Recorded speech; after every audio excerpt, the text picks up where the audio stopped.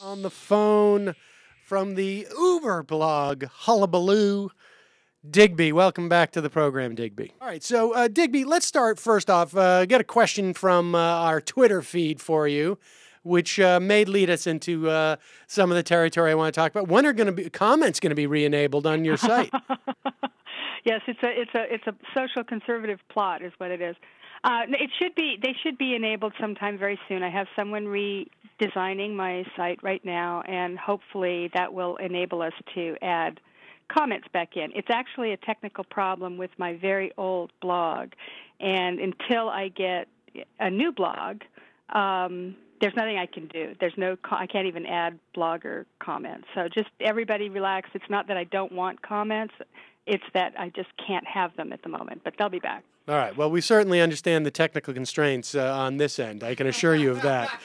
Um, all right. Let's start. I want to start with this. Uh, there was a piece in um, in in uh, in Politico um, this past week uh, by Jonathan Martin, and and it, it's written in the context of all of the supposed shifts, the rebranding that we're seeing in the Republican Party the um, the fracturing that seems to be taking place with the social conservative movement over uh, things like marriage equality, like uh, immigration, uh, not so much uh, on uh, on women's choice issues, uh, perhaps on guns to a certain extent.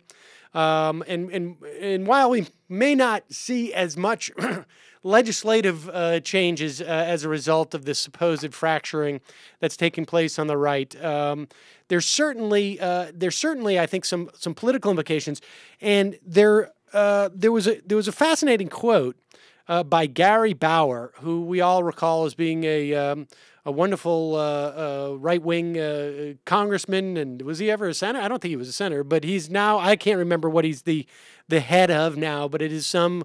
Uh, you know, uh, far right uh, Christian conservative knockoff organization. And he, this quote I, I, I, found pretty stunning, and its implications are not just for the Republican Party, but I think for the Democratic Party.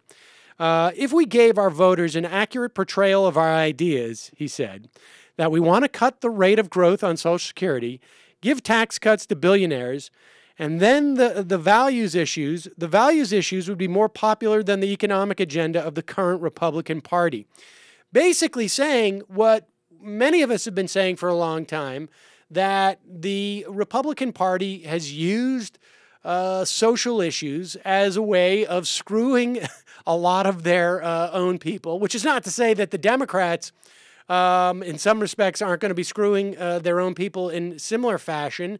Um, but uh, at the very least, that's the formula for the Republicans. Uh, g- give me your sense of of of where this goes next. I mean, both for the Republicans and what the implications are if the rebranding or the actual issue stance changes for the Republicans. Well, I think they have a problem, and I think that Gary Bauer um, basically, you know, illuminated that because, you know, remember they've always uh, defined themselves by this three-legged stool. Remember, it's it's uh, family values on the one hand, you know, social conservatism, uh, fiscal conservatism is the other one, and then the other one is, you know, militaristic national security. Now, if they take away the social conservative brand uh, take away that leg of the stool, they have a problem. They do fall over. And that particular part of it is one that those people prioritize those issues. That's not just something, and in fact, as Bauer points out, they don't really like the the economic conservatism. I mean, it's you know, in theory they do. You know, yes, they think that the government's giving away you know unearned benefits to people who don't deserve it you know, unlike themselves, they worked for it and other people don't, and all of that. But nonetheless, that's not their that's not the reason that they involve themselves in politics. It's not the reason that they care about, um, you know, political issues or or civic issues. You know, however you want to put it. They are they are energized and motivated by something else. And the party. This is a big group, by the way. This is a huge faction far larger than, say, African Americans are to the Democratic Party. This is something like 30% of the Democratic Party. It's a big group. They're playing with fire by doing this. Now, I know that it's very popular to say, well, you know, they've lost and they've got to reevaluate and they've got to go back and and you know do some soul searching and figuring out what to do. Well, you know, maybe they do, but I think casting aside these, you know, cultural issues for them is probably more dangerous than moderating their economic stance. But you'll notice there has not been even the slightest discussion that it might be a good idea to rethink some of their uh, their economic ideas. In fact, if anything, they're doubling down. I heard this morning that Rob Portman, who recently came out, you know, in favor of gay marriage because his son is gay and he had a, a personal epiphany, um, he's being given a pass by by many um, of the you know fiscal conservatives and saying, well, you know that's okay, because what he's really hardcore on uh, on these uh, economic issues. So we can count on him to be there when it counts, and when it counts for the party elites, as Gary Bauer points out. You know, he says in the in the article in another spot, he says if he thinks we can win by getting across the idea that we're no different on values, they're clueless about the fact that they're going to lose voters. Um, they don't seem to understand that you know, I mean, they're all for for keeping these uh, economic issues as hardcore to the right as they can keep them. Um, but you know, maybe Rob Portman can get away with it, but I don't know whether or not the party as a whole is going to do okay. I think, you know, Mike Huckabee said we'll form a third party, and I wouldn't put it past them to do it if the if these you know social conservatives feel truly alienated from the party. I mean, it, what's going to be interesting is because the, the, the, Republican Party is now, it seems to me, is uh, you could divide them between sort of House members and then anyone else who has to run in a bigger in a in a bigger arena than uh, a, a House district, right? Because uh, a House district, you're going to be able to, uh, the, through gerrymandering. I think I, I saw uh, before uh, I, I went on my extended leave that while the percentage of the electorate of white people had r- shrunk by 2%, the percentage of white people in Republican congressional districts had actually increased by 2%. And mm-hmm. that was a function of redistricting. And that means that while the constituency for Republican ideas on a national level has shrunk, the constituency within these districts for Republican social values has increased. And so uh, you're going to, it seems to me that we have a two track Republican Party. And the question is, can they maintain that? Can they, can you have uh, Rob Portman as really just the exception to the rule, and maybe one or two backbenchers in the House who uh, who can come out for uh, things like marriage equality, and then the rest are really just sort of the the Peggy Noonans, the the people who just go on TV who have no who have no constituency other than uh, these the, the sort of the national Republican overlords. Well, yeah, I mean, I, it, it it appears to me that this could actually stay fairly stable for a while. I mean, it's hard to see, you know, we talk a lot about this emerging democratic majority and the demographic change and and everything, but it, it's it's easy for me to sort of see that you could have a kind of a a reversal of the post um, you know FDR era in which there was a very stable democratic you know congressional um, majority that very rarely shifted over the course of all those years, while the presidency would remain somewhat in flux, but more commonly in Democratic hands, um, as as it you know as it was as commonly in in Republican hands, even though they they were and and you remember what that was? That was called the liberal consensus, and I hate to say it. But this would be called the conservative consensus, regardless of whether or not the president was a Democrat. If, if judging by current the way that the the you know things are sort of playing out currently, because even with a small you know uh, it's basically a rump faction in the United in the United States political scene, their power is such in just by holding one house of Congress, and and potentially they can hold the Senate too. I mean, there's a, there's a good chance they're going to win the Senate in 2014. Um, that you know from that perch of even being a rump faction in these gerrymandered districts, they could conceivably continue to hold sway over, uh, and let's not forget we have a conservative Supreme Court majority as well. Um, you know, they could hold sway over over our political scene, regardless of the fact that we have this emerging Democratic majority, con, you know, consisting of the youth and and and uh, Latinos and you know the rest that we've all discussed ad nauseum. So uh, you know, this is uh, you know, as much as I, I enjoy uh, taking the big victory lap about you know the, how the Democrats have prevailed and you know liberalism is on the rise and what have you, and and while it may be in theory our structural problem here um, looks to me as if it could be in place for a while. Now that can change. You know, uh, this this. Uh, uh Rick Perlstein wrote a piece um, this week in the Nation talking about how events and and you know and presidents if they if they play their cards right can actually flip this very very quickly. And he points out that the civil rights movement had that effect when and it wasn't just because of the southern strategy although that was part of it but that constituency of african americans in you know had long been the stronghold of the republican urban um, or a stronghold of republican urban and suburban um, you know northeastern um, you know political machines, and when that's flipped, that you know that flipped for them as well, and that sort of precipitated a, a very big change. And this can happen very quickly, and so it is possible that that can, but I don't know that it's predictable, and I don't think it has the sort of you know this inexorable march to you know liberal dominance that we seem to be talking about all the time in the you know at least in the in the liberal press doesn't seem to me, you know, I guess the point is is that is that you know barring some kind of event or some switch in in party elite strategy, I'm thinking we're looking more at stasis than we are looking at major major change. And, and that, I, you know, I don't know if that's the case or not, but that's just how it feels to me. I want to talk about that scenario that if, if what Gary Bauer is talking about actually happens, what the implications are for the Democratic Party. But before we get there, let's talk about that conservative consensus because when we're talking about that conservative consensus, we're talking about it on a on in terms of economics.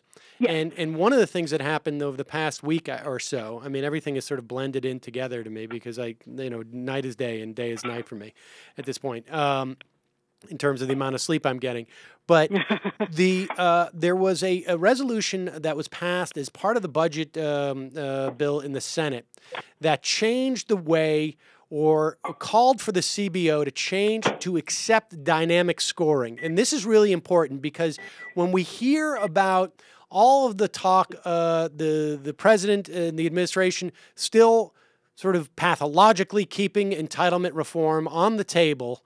And by entitlement reform, we all know that we're talking about is cuts to benefits uh, for Social Security recipients and, and probably Medicare recipients in some fashion or another um, that this dynamic scoring is very important. Just talk about that for a, a brief moment because, um, you know, one of the things I did see also when uh, before I left was, and we got to take this with a grain of salt, is this uh, polling that Republicans did in specific uh, potential swing districts where they see potential pickups uh, of uh, Democratic seats, and showing that people were were that voters in those districts were very keyed into the deficit and the debt as a big problem.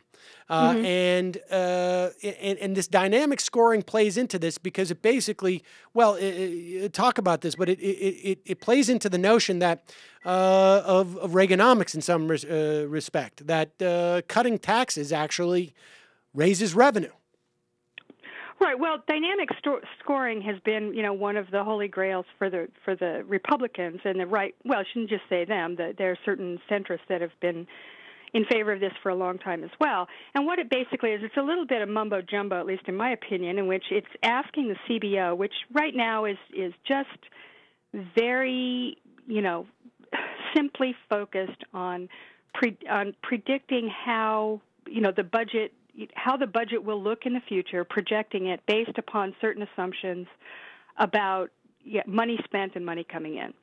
What they're asking them to do is to make a bunch of assumptions about how people are going to behave as a result of these, you know, these changes, the money coming in and going out.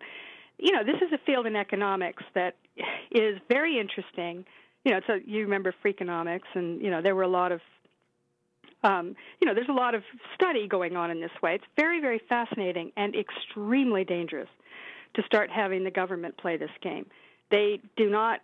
It is not a field which is, you know, well established enough, or that even that they even know how to make the models to make this work. And what it's designed to do, basically, is is have the CBO, the Congressional Budget Office, and various other government budget prognosticators um, make the case for cutting taxes because you know again we're back to that old supply side you know stale supply side idea that the more you cut taxes the more money you will bring in. And you know i think that's been proven to be nonsense but they're not going to give up. Now what they did was they passed this. It came in through it came out of the committee on a party line vote in the house and then they you know they ended up passing it. The idea that and it was not it's not a it was like a you know a state of the state of the Congress or something, you know, statement of the Congress. It wasn't something, you know, it wasn't a specific law, but it was just to say, yes, we agree with this. We think we should be doing it. And this is one of those things that the right does. They, you know, they're very good at it. They get this stuff. They just slowly but surely, you know, whittle away at this, and over time, what that does is that ends up changing the assumption of what is normal. I mean, and we all see this when we watch the media. You know, you see, for instance, right now, the consensus among the political establishment is that entitlements are going broke. We've got to, you know, in order to save them, you know, essentially we have to destroy them. Um, the only thing we can do is cut them. And that is the result of many, many years of propaganda by people like Pete Peterson and various other Uh, you know, fiscal conservatives, deficit hawks, saying this stuff over and over again. So this is how they do it. And then, you know, this is it's an important aspect of politics that I don't think the Democrats do much at all, which is sort of play this this long-term game of of changing assumptions.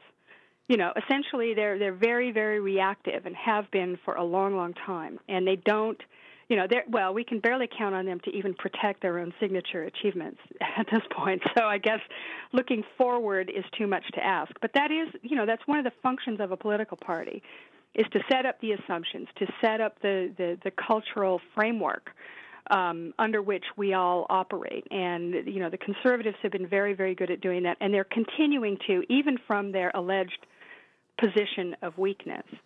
And you know, as, as you can see the the results of this. I mean, now we have a Democratic president chasing a you know what, what I think of as his white whale of a grand bargain, relentlessly pursuing the idea that it is a good thing for a Democrat to cut Social Security, Medicare, and Medicaid. That this will be a legacy achievement of his, that people will remember him fondly, uh, you know, in the same way they remember Ronald Reagan, if he manages to get this thing done. Now, I mean, think about that. I mean, this is this is the I, Democrat doing that, and I, I, think the, the, the, the analogy is really more, uh, in my mind, it is Bill Clinton cutting welfare. Well, uh, that because too. that has been a uh, a disaster that we have sort of like a slow uh, revealing disaster as you as uh, uh, when you when, when you particularly when you hit a period of, of joblessness that we like we've been in. Uh, yet, you know, I, I have said this ad nauseum on this program. Every time it's mentioned on uh, in any type of uh, national forum, you know, television essentially, uh, people just say, you know, Clinton did welfare reform in, yep. in, in, a positive, and it's it, it is that is uh, part of the bucket list, I think, in the in the the, the White House. Now, now I just want to I want to just make a, a, a I don't want to belabor this um, this uh, CBO thing, but people should understand essentially what it what this dynamic scoring does is, and and they haven't adopted it, but by getting a majority of senators, including seven Democrats, to sign off on this, it is basically saying that when we present a budget that says we're going to cut taxes and with the um, with, on on one part of the ledger and show that uh, revenues increase because of it on the other side of the ledger, you got to sign off on it and say that makes sense. Uh, because and uh, again, like you say, it's not binding, but as it gains traction as an idea, uh, it becomes uh, uh, problematic in the same way that the phrase when a uh, family uh, has to tighten its belt, the government should too. I mean, that's, you know, that's not real. Um, economists disagree with that notion. Even Joe Scarborough says that we should be adding more stimulus. Um, you know, but uh, it becomes adopted, and then it uh, impacts our politics because the president, uh, you know, uh, by all uh, accounts, said, "Well, I'm not going to fight that fight." essentially. I'm not going to dis- disabuse the American public of that notion. I will come out for it to get, uh, you know, as they say, within the circle of their of their belief system to attempt to sell them something else. But of course, you can't sell them the opposite, which is really what we needed to be sold at that point. Well, it's not even on the table. The opposite is just completely ignored, as we're seeing even now without dynamic scoring. You know, the pursuit of austerity at a time of, of you know economic malaise at best, um, you know, is totally wrong. But we're doing it anyway because the idea of you know the government has to cut back has become you know that there's a certain kind of instinctive logic to that that no one has actually challenged. Uh, certainly, the president hasn't. He's been going along saying, "Well, we need to do deficit reduction too." The difference is we we want to do it in a more balanced way, whereas they just want to do it by cutting spending. Nobody's challenged the idea at all that we've done enough deficit reduction and that the deficit projections, as they even as they are currently uh, scored, will you know will will shrink if the economy comes back. And in fact we should do the opposite. I mean i think that that argument just isn't in out there. And i think you know it's a difficult one to make. I agree that it's not easy to te- to explain to people that in that the government in you know the the whole you know the keynesian framework for for dealing with uh, this kind of you know lack of demand that's in the in the economy. But nonetheless, I mean, somebody ought to do it because it, what's happening is the opposite, and we're ending up choking off the economy. In fact, they're walking in to these political, you know, ridiculous political traps they set for themselves, whether on purpose or by accident, like the sequester, which means you know we're cutting the heck out of everything at exactly the wrong moment. Um, and and and the deal that's being put on the table is well the only thing we can do to stop that is to cut things in the future uh, like uh, Medicare and Social Security.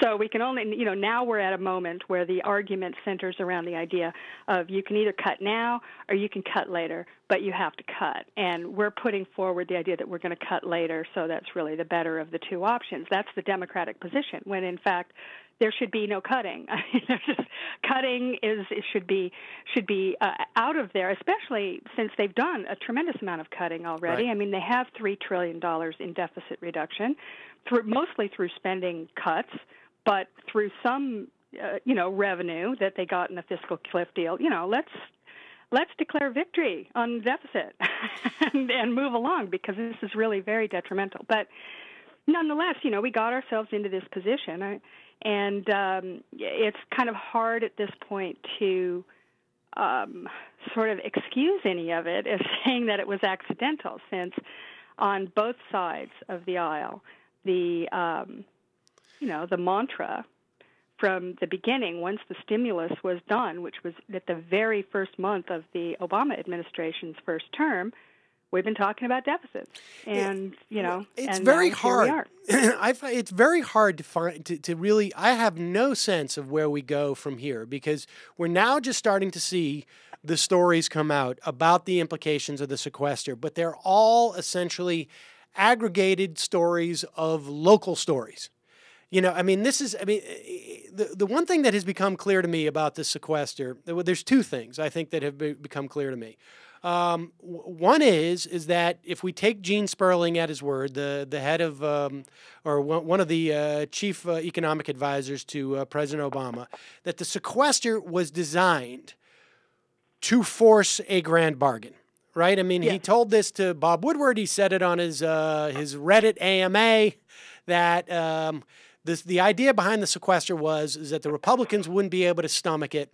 They would be forced to come to the table. We'll be willing to offer entitlement cuts to make it easier for them to swallow uh, increased revenues in the form of of higher taxes on the wealthy and uh, some uh, get rid of some tax expenditures like um, maybe the home mortgage deduction for the wealthy, maybe uh, carried interest loopholes, et cetera, et cetera. There's two things that that that come out of that, in, in far as I'm concerned. Is one, they really wanted to get to entitlement reform, which we've already talked about, and two, they're not very good at this. I mean, I, because the the uh, they they failed to. Uh, it is one thing to say, okay, I have a disagreement with the administration as to where we should be getting to. Okay, that you should design a a mechanism to uh, get to entitlement reform and raising revenues. Uh, I, I, can disagree with their agenda there, but they also failed to even execute that. And so now we're stuck with the sequester. They they blew the politics on the sequester because they didn't understand that. And and you know, two months ago, I think we were talking. Uh, I think we had this conversation of the sequester is going to hit. The polling shows that the Republicans are going to get blamed for it. The problem is is that will the American public be conscious of it? In a way that they're blaming the Republicans can happen.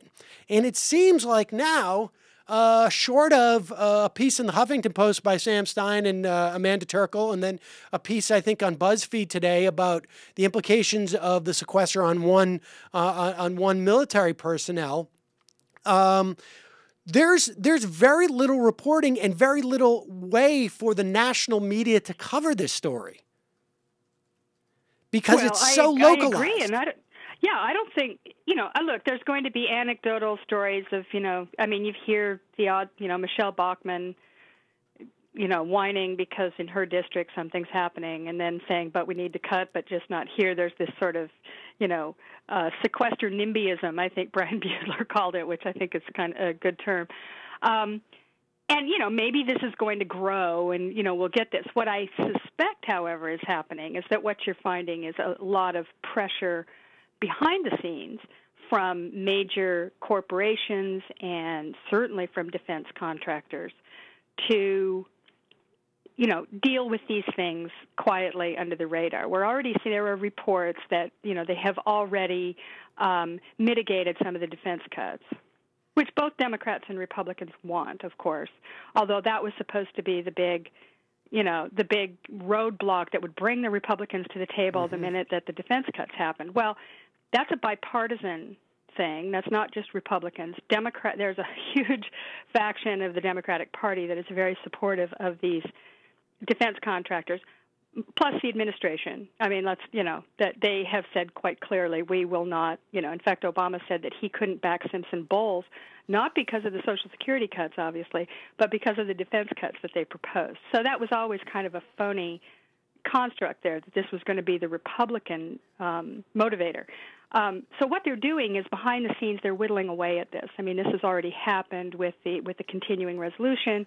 They had, you know, they did some tweaks there to offset some of those defense cuts. So, you know, I can see that happening where under the radar, the big, you know, the the the big interest, the big special interest, um, working away at it while the government expenses that are directly attributable to government, say, you know, shutting down an airport terminal or, you know, doing the kind of things that really inconvenience people, that may become more obvious, but, you know, they're going to blame the government, right? I mean, did they blame Republicans for this? Right. Uh, no, I don't know. I mean, maybe, but I think what they do blame is that the government's dysfunctional. Oh, how we hate the government, and who, what what group is it that um, makes a profit at that particular you I know, mean, the, that particular attitude. The only way yeah. it seems to me for the Republicans to pay any type of uh, political price in these situations uh, is is if they are challenged in specific House races for voting for the sequester, essentially. Yes. And it, it ruining like okay, and now the, the, the sad thing is that we see, you know, stories of uh, uh, some of the more prominent stories I'm seeing are a lot of cuts to things like Head Start, uh, a lot of yep. cuts to um, to food programs for the poor. You know, essentially programs that have very little constituencies, anyways, uh, or at least I should say, very um, uh, weak or not politically powerful constituencies. And uh, so when you get like, okay, they shut down our regional airport, then maybe you can see an opening for a challenger uh, in the 2014 election to come in and say, "You voted for this. You you're yep. the one who's hurt." Uh, you know. I don't know Kalamazoo's uh, economic development because they've cut, you know, they've shut down our, our regional airport or whatever it is, uh, and and that is not the stuff that you can make, you can nationalize a campaign on.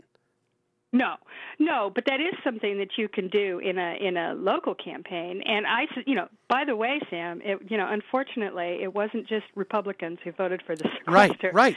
I mean, there are a lot of Democrats who are going to be on the line for this thing too. And I would guess that you know, when it comes to stuff like Head Start or you know, caring about actual human beings instead of big, you know, corporate interests, that they're going to get hit with a bunch of lugubrious, sanctimonious Republicans saying, "Look what you've done to the people." You know, these Democrats are going right. to get hit weirdly from the from the left by, by the right. Um, and and they're going to pay a price for that because you know I don't think that Republicans are going to have any compunction whatsoever about running against Democrats on an issue that they themselves would have undoubtedly voted for if they'd had the chance. Although there were some some Republicans who voted against the sequester too. Um, they were the hardcore, super, you know, far right types like Michele Bachmann, who basically wanted to uh, you know, have default on the debt, you know. Right. Um, but de- a lot of Democrats voted against the sequester too. It shouldn't be said that was not a majority of Democrats. Many Democrats voted against it, and and on for the right reasons. You know, they kind of saw the handwriting on the wall here, and recognized that it was not a good idea to be playing, you know, games with these programs that are very very important to real human beings in a time of economic distress. I mean, it's not like these are good times and everybody can just, well, you know, we'll make up for it. We'll, you know, we'll move some money around or something. I mean, this is this is all these states are very cash strapped, and this is not an easy thing for them to deal with. Having said that, though, what I see coming along the pike is that you know the the, the pressure is going to be on those liberal Democrats. They're going to be the ones who are going to be asked at some point down the road here to make the grand bargain if John yes. Boehner can find enough Republicans to and, and get them to agree to let him bring it to the floor. This and that is the thing is that you know people talk about the the the how wonderful what a wonderful victory that the Hastert rule uh, being that uh, no no bill will be brought to the floor if it doesn't have uh, a Republican majority uh, supporting it. The wonderful uh, aspect of the Hastert rule being broken and trash forever, as if uh-huh. as if anybody cared uh, about that I, at all. And is it is that going to hold? I mean, my understanding was that when they agreed to do it on the fiscal cliff deal, that they extracted, a, you know, a, a pledge that he would not do it. Well, there again. were two other instances, uh, and I, they escape me at the moment, uh, where we have seen the, the Hastert rule not in effect over the past uh, three months. Yeah, and there I, have been. I, I can't, I can't remember, but but the point being is that when this grand bargain, and you know, this story, I think it was in the. Um, uh, it was in the uh, uh, what the Wall Street Journal. Um, the White House is strongly considering including limits on entitlement benefits in its fiscal 2014 yes. budget. Uh, so they're thinking about they're thinking about even sort of like you're not going to accept the grand bargain. We're going to force feed you these cuts. We're going to force feed you these cuts to uh, to entitlements, and you're going to love it. I mean, this is this is the Republican wet dream, right? I mean, we're going to get cuts to Social Security and Medicare to take back to our thing, and, and we're going to be able to say the Democrats did it, and yes. and and so this is the wet dream. But the bottom line is is that they will also include what would be a poison pill for Republicans, that being any type of, um, of revenue increase via loopholes or whatever, new taxes, whatever we want to call it. And it is going to be incumbent upon uh, a large number of Democrats to join with a smaller number of Republicans in the House to pass this bill. So it's basically going to be um, not only are we going to cut entitlements, not only going to hurt um, uh, the people who are getting these benefits, not only are we going to hurt the the brand of the Democratic Party, but in 2014, you're going to have to run against Republicans who said you voted to cut Social Security. And the question is, do the do the Democrats in the House have the sense, both politically and frankly morally, and in terms of uh, just sheer economics, have the sense to say we're not going to go along with this grand bargain? Are they going to break from the president here? You know, I don't know. It, it's it's obviously not. You know, if precedent is meaningful in any way, um, you know, you don't want to be too sure of this. Nancy Right. Pelosi has clearly come out in favor of the chain CPI, which is very bad news.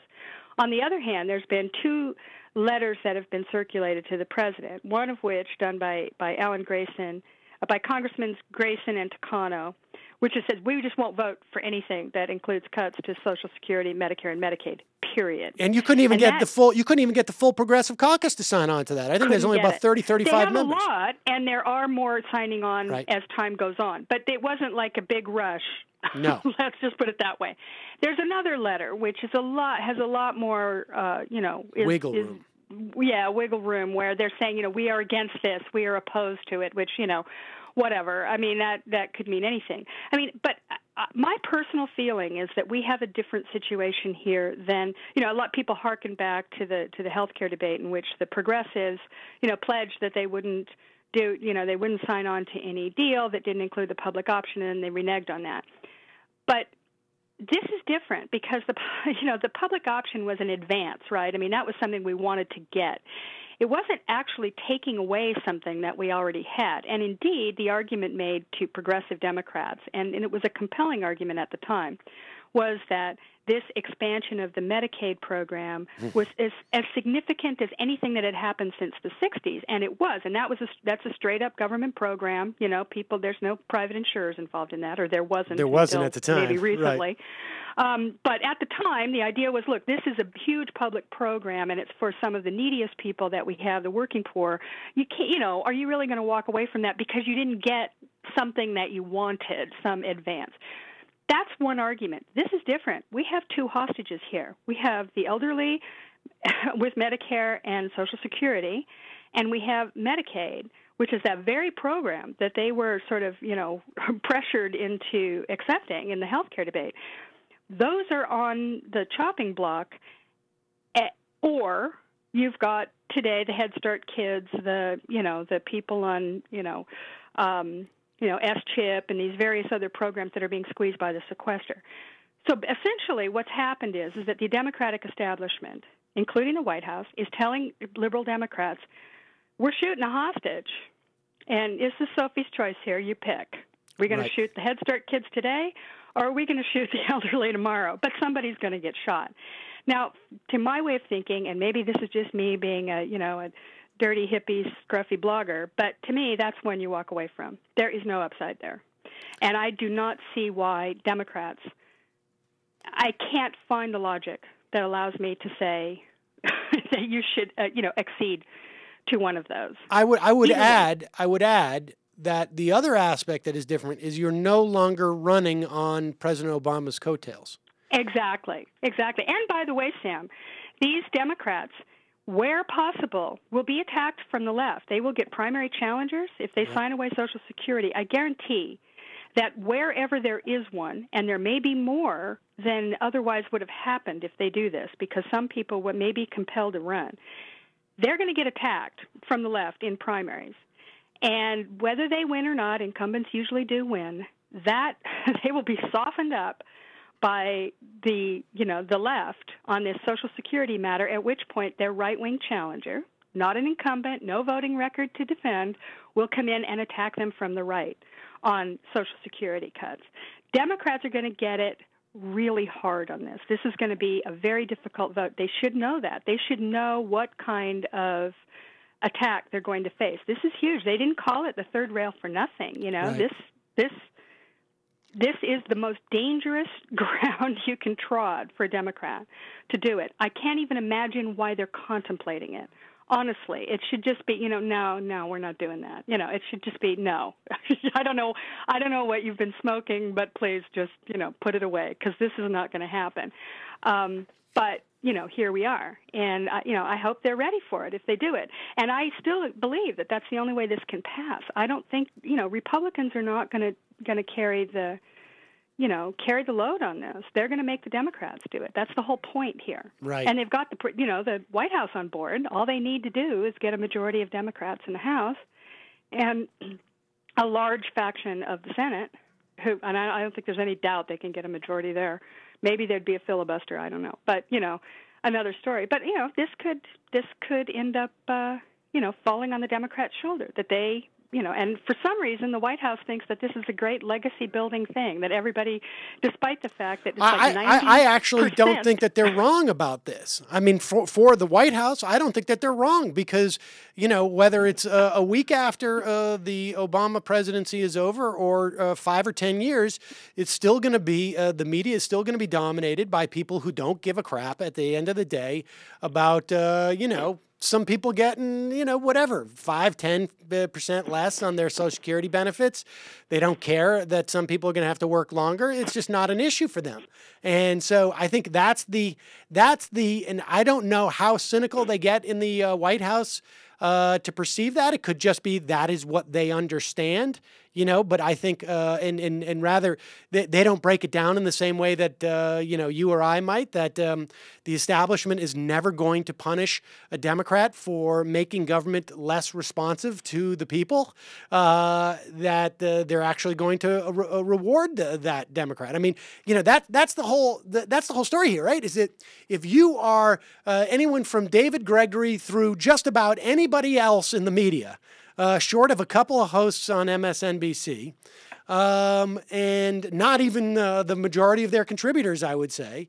Um, if you if you somehow manage to keep people from getting something from government, and you're a Democrat, then you that that puts you in the, the, the Hall of Fame.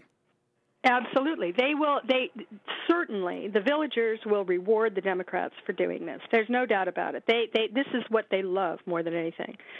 On the other hand, I have to say that I think that legacies legacies are built by specific people. Uh, your enemies, of course, will do everything they can to create the legacy that they want, and I think we can expect that they will not be the right is not going to be kind to Barack Obama, whether or not I mean, you know, he ordered the killing of Osama bin Laden, and they still hate his guts. So I, right. I, you know, it's hard to see how he could do anything, and including this that they would approve of. So I think we can feel sure that they're going to write his legacy as one of abject failure, horror, and you know, complete, you know, communistic usurpment. Yes, this will be the, but, the dark period of uh, yeah, no pun intended. dark period of, of yeah, in more ways of, than one. American politics for them.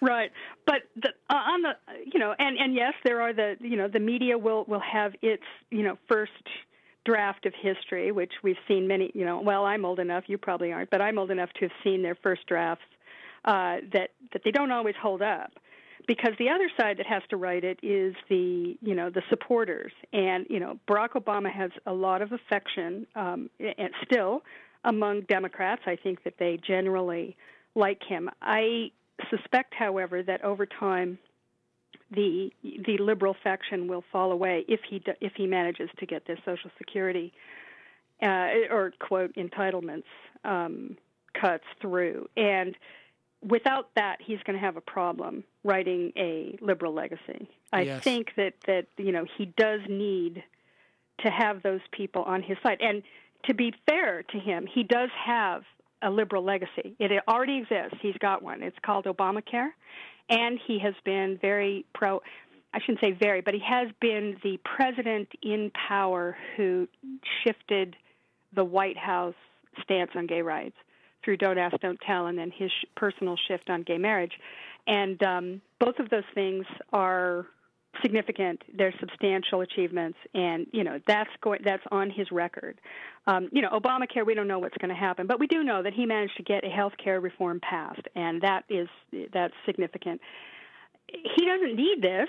Uh, you know, the reason he's doing this entitlement thing is for those villagers, those right. people who, you know, Absolutely. he's afraid of that liberal legacy and needs to mitigate it somehow, I think, by doing something that you know these centrists and and these you know basically establishment elites whatever they are politically um, that they will they will give him credit for doing something that was really hard that was going to as he puts it I'll, you tell know, you I think the thing that we need because you know I, I still uh, contend that um, if I if I if I was them and I was worried about my legacy in that manner and um, that was uh, the the most important thing to me I would just look and say like these are the guys who are going to get the book deals uh, these the villagers are the ones who are going to get the book deals. They have the platforms to sell them. I mean, uh, somebody's got to get a book out right now. Do our uh, you know, get a do a Woodward version of uh, you know how things fell apart, just sort of anticipating uh, this cut, but uh, these cuts to entitlements. But uh, you know, hope springs eternal.